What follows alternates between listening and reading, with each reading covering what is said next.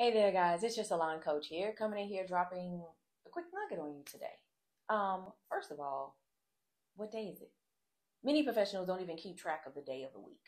Like, we have no idea what today is once we begin to hit that salon. We're truly clueless. We're just looking for Saturday. We know when the week is ending. We know that build up comes and we know the week is about to wind down. But here's what I want you to do I need you to keep track of the days of the week because this is also going to help you keep track of your income goals. It's also going to keep track of the tasks that you need to complete in order to get your goals done, right? So I know you probably like, look, just like this piece of hair that was sticking up, I have no idea what day of the week it is. But I need you to start paying close attention to your financial goals and your business goals. Somewhere around this video, there is a link. Let's talk about it. Schedule your free rapid growth call today and let's discuss your future